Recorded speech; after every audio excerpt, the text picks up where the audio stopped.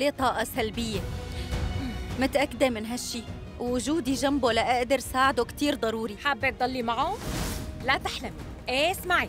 لمعلوماتك يا روحي أنا ما بصدق هذا الحكي كله تبع الحظ أنا بعرف شي واحد أكيد. من لما تركتيه وإجيتي مشان تعيشي هون بهالبيت.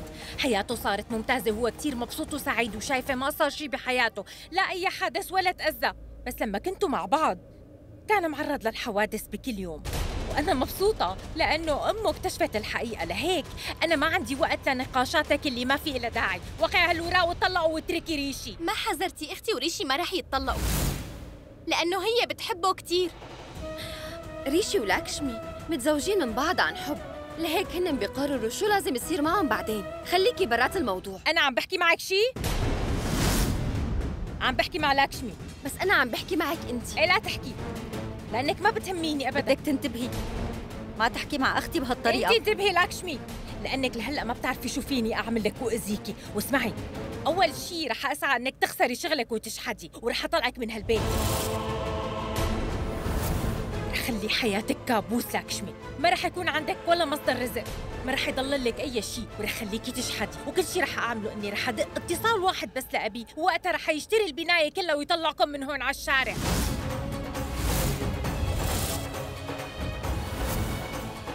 وقتها حتصيري فقيرة.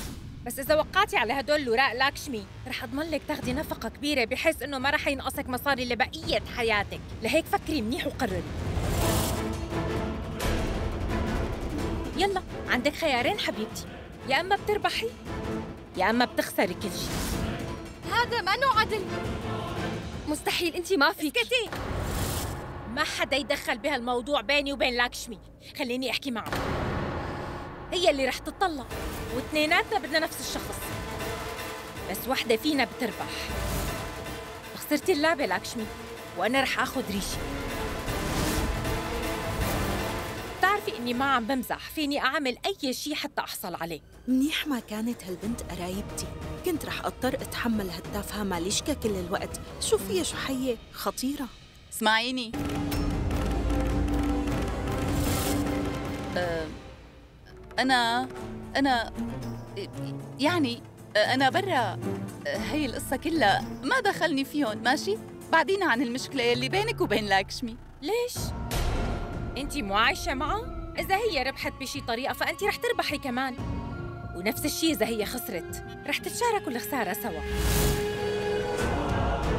لهيك فكري لاكشمي اعملي الشيء اللي بمصلحتك ما لازم تعاندي ولو كنت محلك كنت رح أوقع على هالوراق بلا تردد. وما رح فكر بالمرة.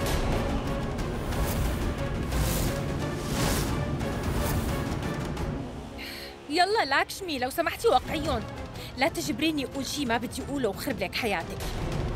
ولازم تعرفي شيء مهم لحتى تتشجعي. أنت ما عندك أي فرصة لترجعي لأنه ما ضل عندك شيء هنيك. كان في مشاكل بيني وبين ريشي. ونحن تجاوزناها هلا. هلا مو كلهم بس أغلبهم. انت بتعرفي شو بقصد مو هيك؟ صح؟